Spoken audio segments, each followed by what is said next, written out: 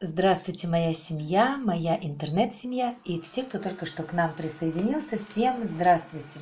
У меня там все работает, как всегда, идут всякие работы, стирки, уборки, глажки и так далее, но я не забываю о том, что кожа также требует ухода, и средства, приготовленные из обычных продуктов, не только безопасны для кожи, но и значительно экономят бюджет.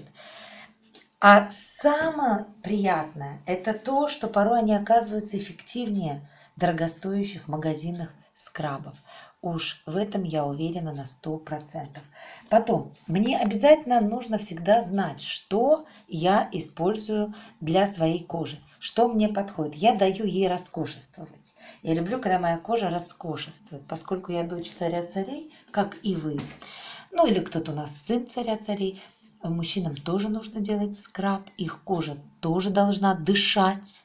И это огромное заблуждение, когда скрабируют тело только женщины, а мужчины нет. Очень зря. И очень зря.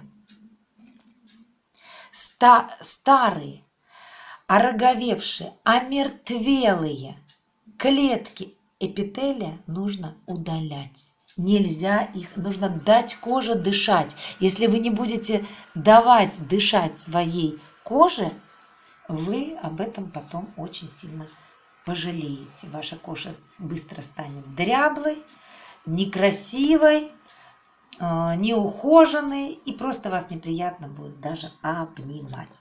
Ну, я шучу, конечно. Средства делаю так. Я посмотрела, у меня закончилась баночка пустая. Вот у меня обычно такие баночки я использую пластиковые для кремов, для скрабов. Они у меня быстро заканчиваются. Но иногда я использую и стеклянные баночки. Обычно я на подарки всегда в стекле делаю. Вот. Э, я использовать буду морскую соль. Даже если у меня останется сколько-то, не беда, я беру где-то примерно 2-3 столовые ложки. Засыпаем. Даже не 2-3. Даже может быть и больше. А вы как хотите. Я делаю на несколько раз сразу. Вот. Поэтому вот так вот. Засыпаем баночку.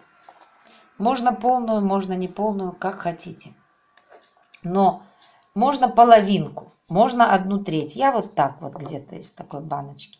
В общем, один к трем я делаю. Вы можете делать как хотите. Всегда расчет у меня один к трем. А, вообще многие считают, что скраб и пилинг – это одна и та же процедура. На самом деле это два самостоятельных способа по уходу за кожей. И я расскажу, в чем разница после того, как сделаю. Итак, добавим, добавим сюда как основу а, маслечко. Какое я буду использовать сейчас? Горчичное. Горчичное масло нерафинированное. Это замечательное маслечко для кожи. Кожа любит горчицу. Как основу я беру все на глаз. В прошлый раз я делала оливковое масло с подсолнечным. В этот раз я делаю горчицу, я не жалею.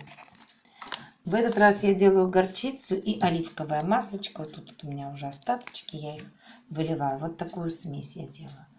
Дальше несколько капель. Так, еще, еще, еще, еще.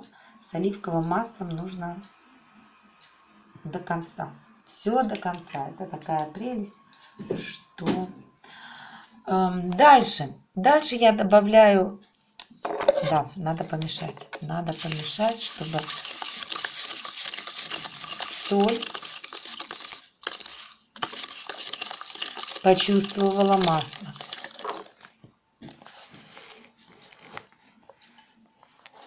Соль должно почувствовать масло. Пропитаться этим масличком горчицы и оливки. У меня это как основа, понимаете? Мы натираемся маслами. И вот теперь на данном этапе я понимаю, что мне сольки нужно еще добавить. Я больше люблю соленые скрабы. Кто-то делает сладкие, но ведь я ученица... Вы там уже будете смотреть, сколько вам добавить соли. Вы будете смотреть по консистенции, какой вам нужно. Кто-то любит жидкое, больше масла любит. Кто-то любит среднее, как я. Вот.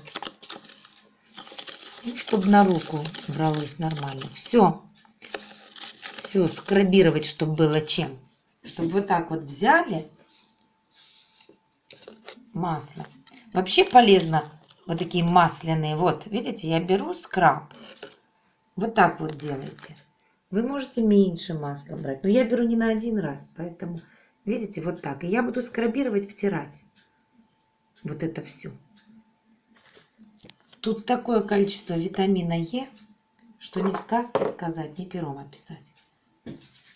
Вот я даже сейчас поскрабирую, хотя еще скраб не готов, и смою. Да, вы скажете, а как же ж потом смывать? А как вы же будете жирная? Конечно, вы будете жирная. Вы обязательно будете жирная. Вы должны еще постоять, подождать, пока эта маслечко пропитает кожу. А потом вы берете свой гель, люкс гель, как я делаю. У меня есть видео. Ну или свой какой любимый гель. И смываете это все, как обычно после любого скраба. Все тщательно смываете, но не забывайте, что этот скраб жирненький. Вот, пару капель масла виноградных косточек мне нужно, не повредит.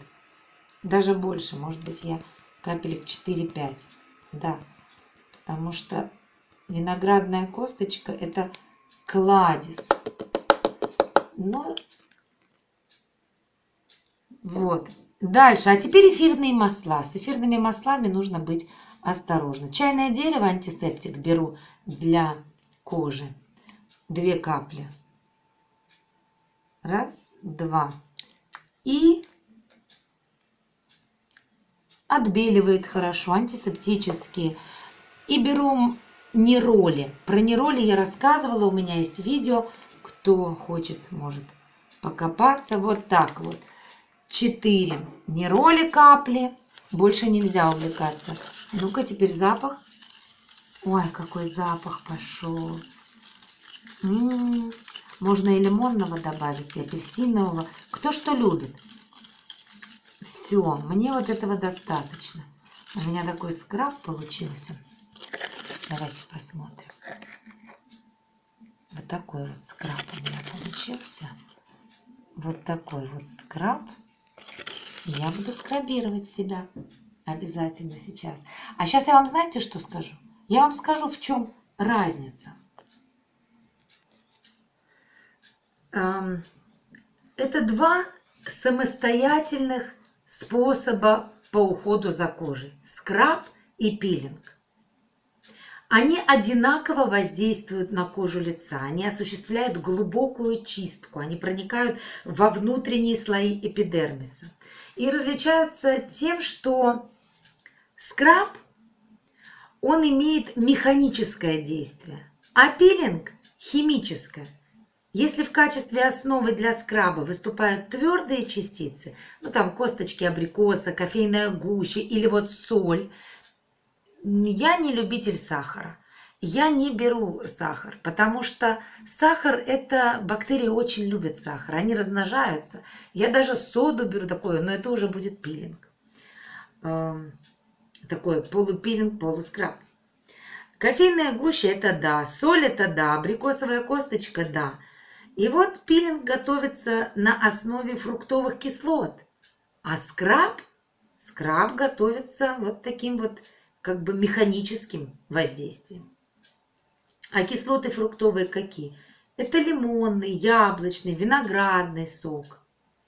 И в его составе тоже присутствуют абразивные частицы, но они настолько мелкие, что не дают никакого отшелушивающего сильного эффекта. Я иногда делаю пилинги такие, э, называю маски как бы, маска-пилинг. И называю их агрессивные. Это когда я беру немножко лимона, допустим, немножко соды, смешиваю, и вот это движение. И добавляю там крем или еще что-то. Вместе наношу сразу немедленно. Тоже я люблю с помидорками такое. Есть у меня видео, посмотрите. Просто эффект обалденный, причем сразу же после таких масок. Ну вот, в принципе, вот так, действие пилинга, оно направлено на омоложение и уменьшение пигментации на лице. Пилинг очень хорошо справляется с этим. Но из-за того, что в его составе используются фруктовые кислоты, средство может вызвать аллергию, у кого там проблемы с лимончиком и так далее. И раздражение, покраснение слегка. Категорически не рекомендовано к использованию женщинам с сильно чувствительной кожей лица. Хотя у меня гиперчувствительная кожа лица. У меня прекрасно кожа воспринимает такие пилинги говорит мне спасибо.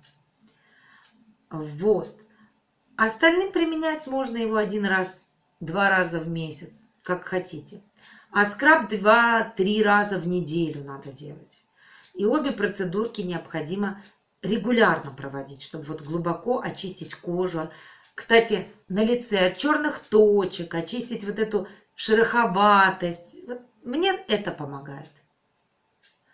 Естественно, кому это не подходит, есть миллион, миллион всяких скрабов для лица, которые лучше сделать дома. Всегда нужно четко знать, противопоказаний, которые вот ваша кожа на что реагирует. Поэтому посоветуйтесь с врачом-дерматологом. Если хотите щадящий, очищающий эффект, то возьмите из овсянки и кефира. Но это уже будет больше маска, а не пилинг, а не скраб. Овсянка кефир, они мягко воздействуют, они не раздражают верхний слой эпидермиса. У кого купероз? Вот у кого, девочки, купероз – если на лице есть такие просвечивающиеся капиллярные сеточки, то откажитесь от очищающих процедур вообще. Ну вот так, дорогие мои. Открытые ранки у кого на лице и прочее, то тоже нежелательно да, раздражать. Но это вы уже сами понимаете. Вы же не будете по раночке, по ранке или по прыщу вот скрабировать разно, размножать бактерии, разносить. Это понятно. Вот и все. И у кого дерматит тоже. Любые скрабы для лица всегда противопоказаны, это я точно знаю. Вот такие вот дела.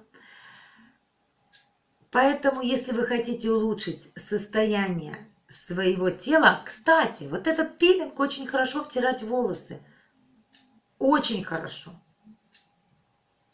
Поэтому, ну, после этого, опять-таки, промываем хорошим шампунем, промываем конкретно. Ну, про шампуни мы еще потом поговорим.